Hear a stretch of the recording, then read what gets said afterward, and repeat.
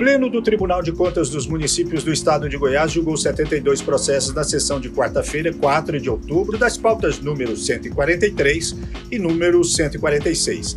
Presentes o presidente Joaquim de Castro, os conselheiros Francisco José Ramos, Valcernor Braz, Sérgio Cardoso, Fabrício Mota e Humberto Ardar, os conselheiros substitutos Maurício Azevedo, Iranite Carvalho Júnior e Flávio Luna e o procurador-geral do Ministério Público de Contas, Henrique Pandim.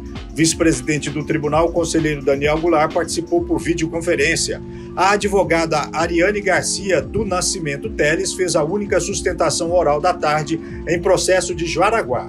A sessão foi acompanhada pelo Twitter, transmitida ao vivo pelo canal do tribunal no YouTube, onde pode ser revista. TCM, o tribunal a serviço da sociedade.